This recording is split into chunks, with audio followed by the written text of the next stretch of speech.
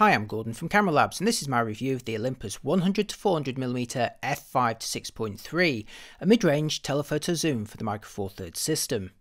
Announced in August 2020, it will cost around 1,100 British pounds, pitching it a little below the Panasonic Leica 100-400 f4 to 6.3. I didn't have a dollar price at the time that I made this video, but I provided a link in the pinned comment in the description below for you to check. Now Olympus went for a mid-range model as they already have budget telephoto zooms and have also teased the 150 to 400mm Pro lens with a brighter aperture and much higher price expected by the end of 2020. Since both lenses were already well underway at the time of the Olympus Imaging Division news, both should continue to go on sale as expected. Measuring 86mm in diameter and 206mm long, the Olympus 100-400 is actually a little wider and longer than the Panasonic Leica 100-400 and at 1.12 kilograms the Olympus is also over 200 grams heavier and this is all despite having a dimmer aperture at the short end. This makes it one of the largest lenses in the Micro Four Thirds system, at least until the 150-400 Pro model arrives. Like the Leica, it takes 72mm filters. Coincidentally, when testing the Olympus lens, I had another 100 to 400 f5 to 6.3 in for review, the latest Sigma DG-DN model for Sony E and Leica L mounts, which you can see here on the right, mounted on an A7R Mark III body. As you can see, the Sigma is roughly the same size and similar in weight too, although it's officially corrected for larger full-frame sensors and priced a little lower as well. That said, Sigma doesn't include a tripod foot with its lens, and the full frame Sony body here is of course more expensive than the OMD EM1 Mark II on the left. As you all know, there's loads to weigh up between the two systems, but I just wanted to illustrate the physical similarities between these two lenses, even though the Olympus one will only be used with a smaller sensor system. Ultimately, both are 100 to 400mm f5 to 6.3 lenses, regardless of what you put behind them. Viewed from the side, you can see the three main switches with a three position focus limiter, autofocus control, and a simple on or off for the optical stabilization, which, as a non Sync IS lens, can be set independently from any body stabilization. In the middle is a wide zoom ring with a solid mechanism that extends the barrel in one section by 60mm. A locking switch on the opposite side can hold the zoom at 100mm, but not at any other focal length. Compare this to the Leica version which has a twistable ring to stiffen and essentially lock the zoom at any focal length. At the end of the Olympus barrel is a very smooth manual focusing ring, although as a more affordable model it lacks the pullback manual focus clutch mechanism of some Pro lenses. It also lacks the built-in extending lens hood of the Leica 100-400 or indeed Olympus's own 40-150 Pro, instead opting for a simple twist-on accessory. Unlike the Sigma 100-400 I showed you a moment ago, Olympus has included a tripod collar and foot, which allows you to rotate the barrel and camera, a sensible move considering the crop sensor effectively doubles the focal length to a maximum of 800mm. You can also remove the collar to save weight if preferred. The foot itself also employs an Arca Swiss dovetail, allowing it to slide directly into compatible clamps, albeit not my Manfrotto one here. The optical construction consists of 21 elements in 15 groups with a 9 blade circular aperture system and a closest focusing distance of 1.3 meters throughout the range, although as I discovered in my tests it'll actually focus closer at the shorter end of the zoom and I'll demonstrate what you can use that for in just a moment. The most important specification of a lens is of course its focal length and when mounted on a Micro Four Thirds body, the Olympus 100-400 delivers coverage equivalent to 200 to 800 mm. Here's how it looks at 100 or 200 mm equivalent and now at 400 mm or 800 equivalent. Clearly this kind of reach is aimed at wildlife and sports photographers and I'll be showing how suitable it is for this later in the review. Oh and if you desire more reach still, the Olympus lens is also compatible with the Olympus teleconverters for a maximum equivalent focal length of 1600mm, albeit with a very dim aperture. Like many long telephoto lenses, the Olympus 100-400 is also quite useful for photographing small subjects at close range. Olympus quotes a closest focusing distance of 1.3 meters throughout the range, but set it to the 100mm focal length, I actually managed to focus down to 97 centimeters from the focal plane, which as you can see here delivered a subject 142mm wide. Meanwhile, at the 400mm focal length, I could focus 123cm from the focal plane, which captures subject 56mm across the frame. Now this focusing distance and magnification makes it actually quite practical for photographing tiny subjects like insects without disturbing them or casting shadows, and here's a few uncropped images I took with the lens at 400mm on the EM1 Mark II. The optical performance is also very good at close range as you can see when I zoom into one of these shots for a closer look. You can even see some detail on the eyes here. In terms of aperture, the Olympus 100-400 varies between f5 and f6.3. The maximum f5 aperture is available up to 123mm, at which point it reduces to f5.4 until 138mm. Then it's f5.6 until 150mm, f5.7 until 169mm, f5.8 until 186mm, f5.9 until 210mm, f6 until 236mm, f6.1 until 269mm, f6.2 until 300mm, and then the minimum f6.3 between 300 and 400mm. Sorry if that was a bit boring, but I know there's a lot of people, including myself, who actually find this information really useful. In practice, here's the kind of bokeh blobs you can expect when shooting with a lens at 100mm from the closest focusing distance. First here at f5, then f5.6, f8, f11, and f16. In each case, the blobs remain mostly circular.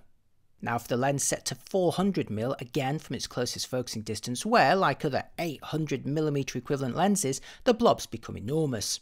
First here at f6.3, then closing to f8, then f11, and finally f16. Moving on to focusing, here's the Olympus 100-400 at 100mm f5 on an EM1 Mark II body, focusing between the bottle in the foreground and the bike gear in the background. It's focusing pretty swiftly and confidently here. Set to 400mm is unsurprisingly a greater challenge at this kind of distance and contrast, but the lens and body combination still do a good job.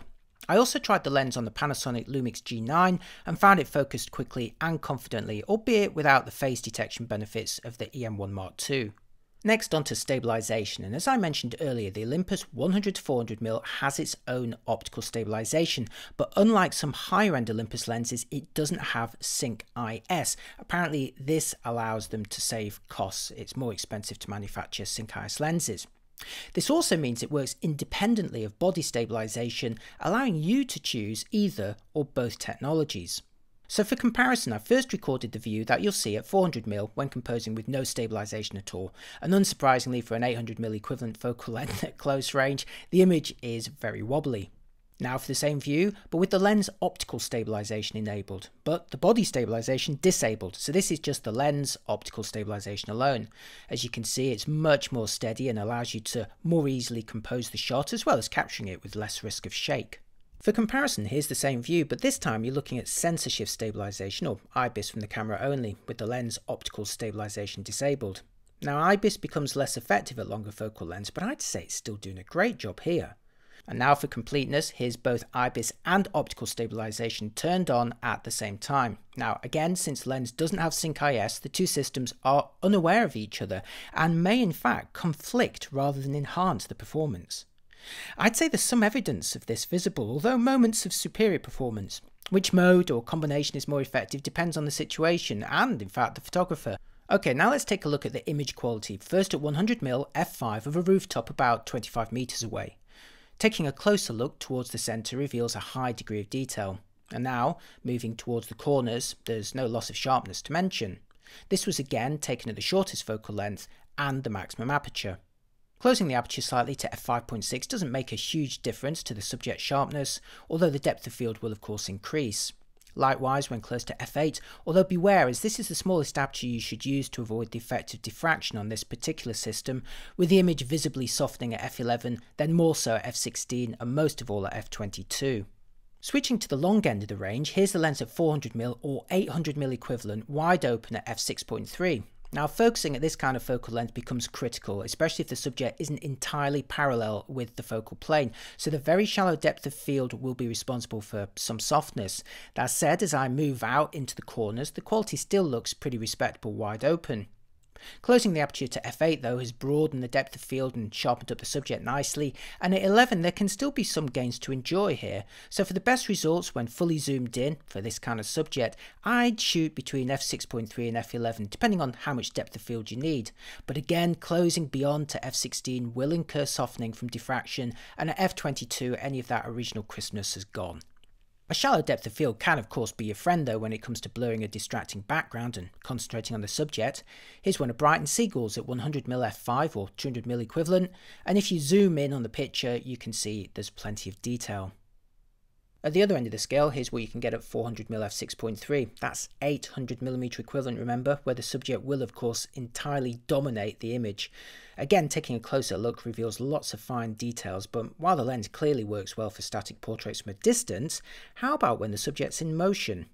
Okay, so now for some birds in flight, all uncropped JPEGs direct from an OMD EM1 Mark II fitted with the Olympus 100-400 zoom.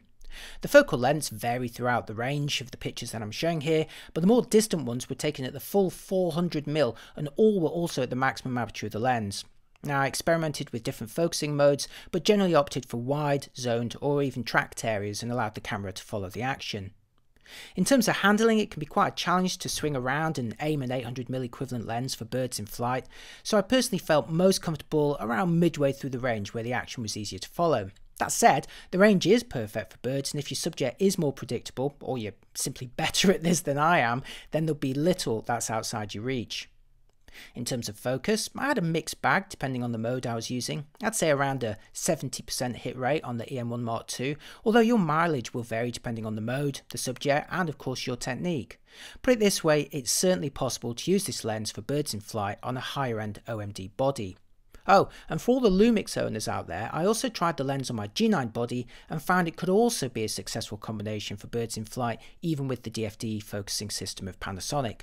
The focal range is also ideal for solar and lunar photography. Here's the setting sun at 100mm or 200 equivalent, and now at 400mm or 800 equivalent. As always, you have to be very careful when shooting directly into the sun, but when it's low in the sky and obscured by clouds, you can enjoy some dramatic results with this lens. And now for the young crescent moon hanging in the twilight sky at 100mm, before zooming in for a closer look at 400mm.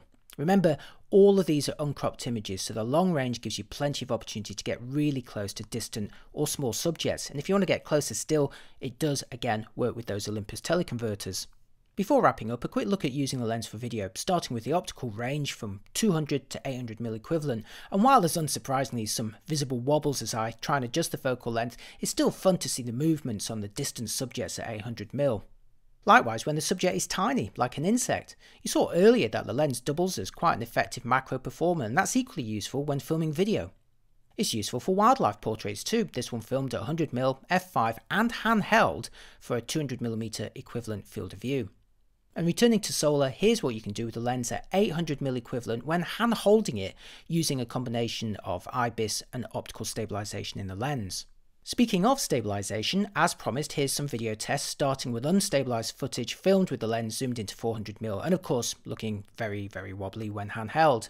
Next I've enabled optical stabilization in the lens only and you can see the image become impressively steady.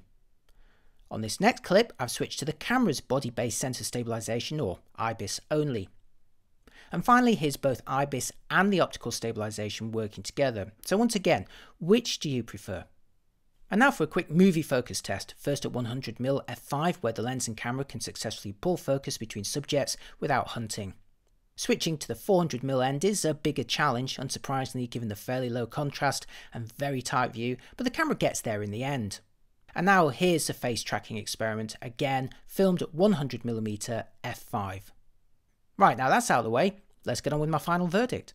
The Olympus 100-400mm f5 to 6.3 is a compelling super telephoto zoom for owners of micro four thirds bodies who want to get close to small or distant subjects.